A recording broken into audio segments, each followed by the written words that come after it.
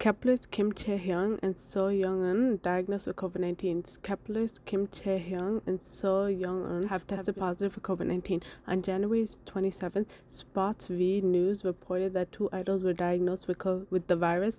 Later on that same day, Wake One Entertainment and Swing Entertainment released an official statement confirming the news was true. Here's the statement. This is Wake One Entertainment and Swing Entertainment. We regret to inform you that Kep1er's Chae Eun-hyung and Seo Young-eun have tested positive for COVID-19 today on January 27th. Both of the members have already completed their second dose of the COVID-19 vaccinations.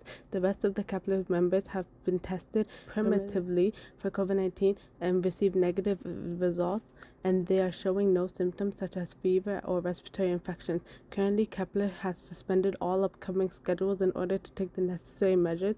We will take necessary measures to prevent the spread of COVID 19 by putting the artist's recovery and the safety of all of our artists and staff first. We apologize for causing you concern.